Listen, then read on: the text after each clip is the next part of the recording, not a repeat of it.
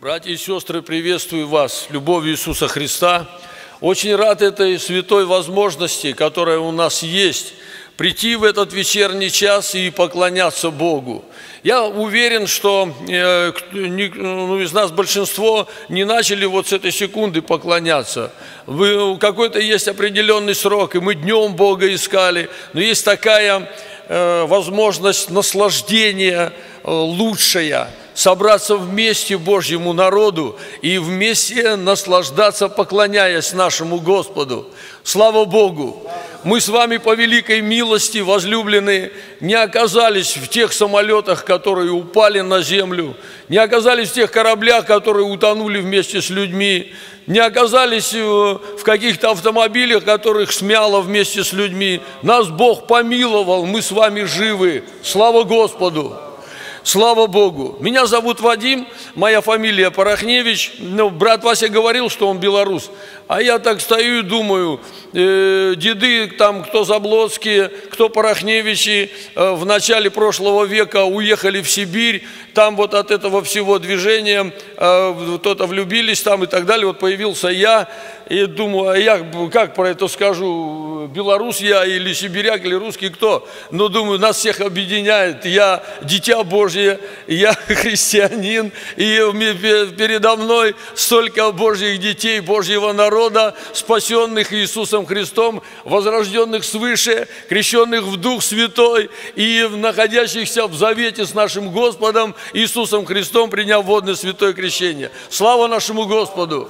Э, любимые столько обилия Божьего действия, Божьего Слова на этом месте. Я э, что могу сказать, когда все уже рассказано, и э, вспоминаю только, и это Слово удерживается во мне, когда я читаю из книги притчи, э, Евангелие, которое там так вставлено, что не сразу-то и разберешь. Когда я прочитывал, думаю, но если это написал Соломон, он не знал еще евангельского откровения, как он написал про это, э, ну, наверняка его в этом убедил Дух Святой. Книга притчей, 24 глава, э, читаю с 10 стиха и ниже. «Если ты в день бедствия оказался слабым, то бедна сила твоя. Спасай взятых на смерть, и неужели откажешься от обреченных на убиение? Скажешь ли, вот мы не знали этого, а испытующий сердца разве не знает? Наблюдающий над душой твоей знает это и воздаст человеку по делам его. Возлюбленные, как минимум э, четыре действующих лица в этом отрывке священного писания. Кто-то идет э, в этой печальной колонне, обреченный на убиение – кто-то их обрек на это убиение, взял их в плен, и сейчас их убьет. Осталось чуть-чуть времени. Кто-то над этим наблюдает, а кто-то, оказывается, может их от этого спасти, от э, обреченности на убиение, может их спасти так, чтобы их смерть не постигла.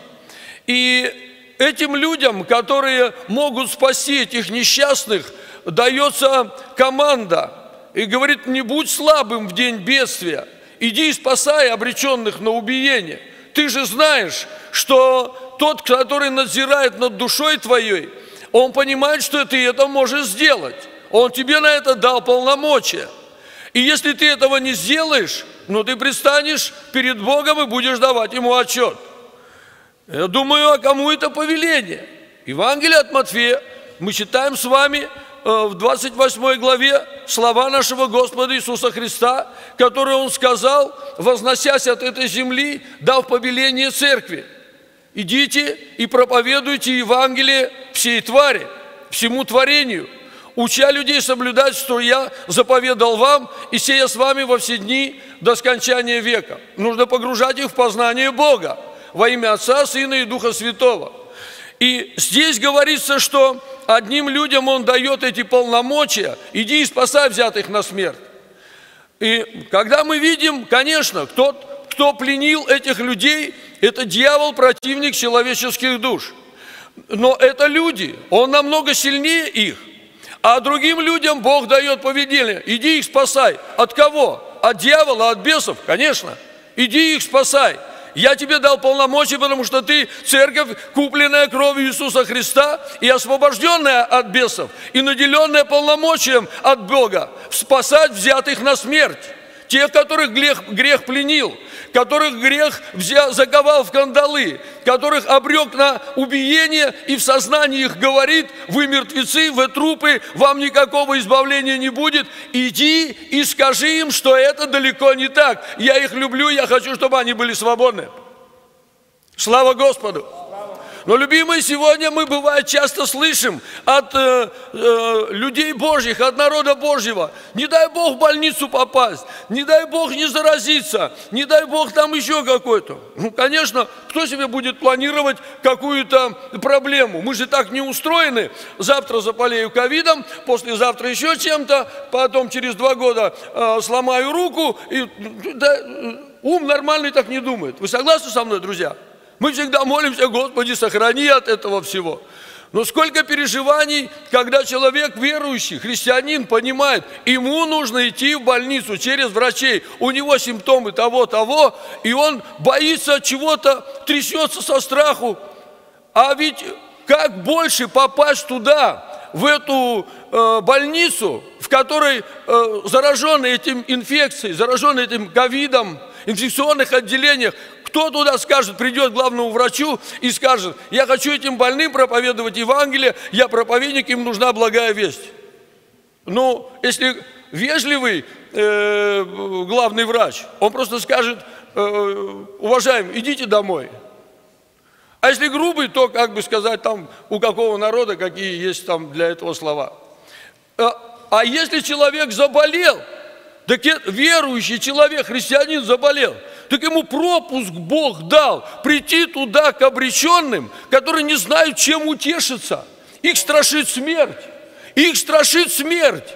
Их страшит расправа. Больных детей потеряю. В жену больше не увижу. Не хочу умирать. Приди туда, спасенный и святой, и скажи, что есть всемогущий Бог, который тебя любит. Он сильнее болезни, Он сильнее проклятия, Он сильнее греха, Он сильнее смерти, Он воскрес из мертвых. Слава Богу! Возлюбленные нас, э, бывает, что нас по пути, по этой дороге земной разукомплектовывают потихоньку, ну и врачи в том числе. И мне пришло время тоже из меня вытащить э, э, из коленного сустава миниск, и кроме врачей никак больше это не решается вопрос. Я молю, говорю, Господи, я Тебя благодарю, Ты все знаешь, я в руках Твоих, ну благослови меня, там мне встретиться и кому-то Евангелие сказать. Прихожу, меня ложат на койку, располагают, готовят к операции, ну, там со всякими делами. И вдруг я, я вижу, лежит рядом со мной пожилой уже человек – которым, которому я благовествовал Евангелие, когда обслуживал э, оборудование инженерное в доме-интернате престарелых и инвалидов. Он там покаялся, мы с ним вместе молились. Ну, пришел, мы же сантехники верующие приходим. Сережа не только горшки лечить там, да? Это горшки-то попутно. Э, у нас есть пропуск в такие квартиры, на такие заявки, что мы можем с людьми беседовать, проповедовать им Евангелие. Они нас не выгонят. Ну, потому что тогда останутся без горшков, со сломанными смесителями и так далее. Им невыгодно. Тогда слушай. И вот и там также была история. И тут я попал с ним, он лежит в палате, и ему такой диагноз, типа, ну все, мужчина, рак, вы уже, э, кончается ваше путешествие, и все вот так вот ему аккуратненько рассказывают. А я его увидел, говорю, Борисыч, привет, как у тебя дела? О, Вадим, как хорошо, вот у меня проблемы со здоровьем и все. Я ему опять благовествую, мы с ним, ну, ну время там никто не выгонит. А сейчас скажут, брат Вадим, давай через 10 минут заканчиваю. А там все у тебя, ночь, день, уколы вкололи, и опять слушай Евангелие. И мы с ним так беседуем, беседуем, он кается опять. Видать, ну, подзабыл. Ну, старик есть старик. Это мы с вами э, четыре раза в неделю, а то всегда каждый день собираемся на служение. А в доме-интернате там график другой. И мы с ним опять беседуем, он молится, Христа принимает сердце свое. Мы говорит, все, за вами приедут, приезжает его команда, меня узнали – и говорят, о, Вадим, и ты здесь, как хорошо, и так далее, ты что здесь? А я говорю, вот меня вытаскивают потихоньку, э, разукомплектовывать, чтобы мне еще походить можно было. Э, э, но врач говорит, вы рано приехали за ним. А как мы его на следующий день только вам отдадим. Я молюсь, думаю, Господи, в чем дело? Ведь ему уже же, ну, принял Христа человек, ты меня как раз вовремя в этот график вставил, потому что ты лучше все знаешь. Они уехали, э, ну, поговорили со мной, уехали, и а этот Борисович, э, мы с ним еще беседуем, ему исповедаться надо. И вот тяготит то, что он наделал в свое время, пока Бога не знал, многих дел, э, и совесть его не свободна. Но Слово Божье говорит, если исповедуем грехи наши, то Бог наш, будучи верен и праведен, простит нам грехи наши и очистит от всякой неправды. Ему исповедание надо. Конечно, я, э, ему очень повезло. Смотрите как. Я пресвитер церкви, священнослужитель, попал как раз к нему для того, чтобы с ним побеседовать, покаяться, исповедание принять у него. И он э, исповедался, мы с ним помолились. На следующий день приезжает за ним команда его э, из э, дома престарелых и увозит его туда. А через неделю он уходит к своему Господу. Слава Богу! Любимые, вы знаете, мы не определим. У меня свой график, у меня свой сценарий на эту жизнь. Мне надо вон туда ехать, в те поездки, деньги заработать, ну много чего у каждого из нас. И вдруг наш маршрут меняется по больницам, по каким-то притонам, по подвалам. Бывает такое, да, брат Николай? По каким-то этим отстойникам, там, э, распределительным узлам тепловым, там, ну, это маршрут поменялся. Бог, потому что надзирает над нами, потому что мы церковь Его, народ Его. Он больше благовестия никому не верил на этой земле. Он больше слово свое никому не дал. Он дал церкви и помазание дал церкви своей, чтобы она была способна, пригодна, годна и сильна делать его работу. Слава Богу! А потом, оказывается, там еще оказался мой одноклассник в этой же палате. И сидит вот такими глазами, смотрит. Такие люди приходят ко мне, э, здороваются, другие приходят, врач лечащий приходит, здоровается. Ну, а он мой заказчик, я ему сантехнику делаю, а что он со мной не будет здороваться, понятно? И он сидит в углу и смотрит на меня. Вадим, ты кто такой вообще? Учились-то, я как бы, ну, не был такой из отличников. И, к сожалению, своему, я всегда об этом с сожалением вспоминаю. Спортивная команда, когда у нас школьная была, вот мало трафарет с числом на футболку налепить. Мы еще сзади такую надпись там сделали на футболке. Вера в Бога, врагам подмога, вот тебе могила, крест, вот, ну, такие были. Потому что я в 65 году родился, и наш, мы росли без вот, ну, ни благовестия не слышали в сибирских краях, к сожалению своему. Но как. И он это все видел, и у него картинка обо мне такая осталась. А теперь прошло э, почти что 40 лет, и вот он встречается и видит, люди приходят с улицы, Вадим, привет, чуть ли не обнимаются. Врач приходит, Вадим, дорогой, как у тебя здоровье? А его там инженера никто об этом не спрашивает. А, а я как бы сантехник, и ко мне одни, вторые, третьи. И вот, и вот у него такой вопрос, ты кто вообще? Я говорю, пойдем поговорим, Андрей Андрюша.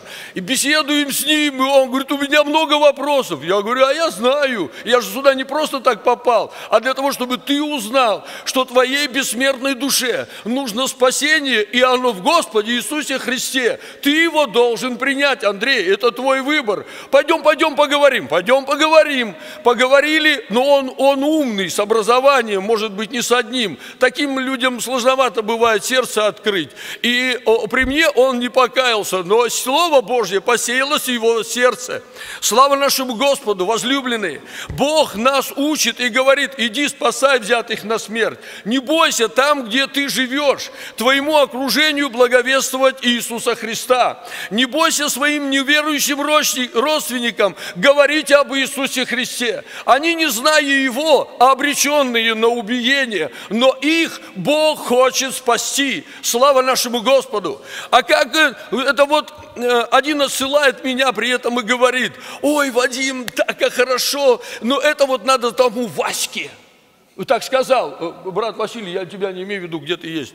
Э, как говорит, это вот такой Васьки, который ходит из контейнера, обедает, завтракает и ужинает из мусорного, и там с котами, с тараканами спит, вот ему надо. А я хороший, у меня все нормально.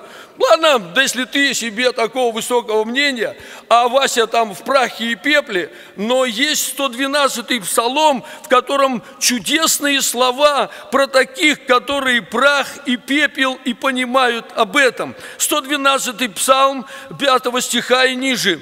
«Кто как Господь Бог наш, который, обитая на высоте, преклоняется, чтобы презреть на небо и на землю, из праха поднимает бедного, из брения возвышает нищего, чтобы посадить его с князьями народа его, неплодную, вселяет в дом матерью, радующуюся о детях.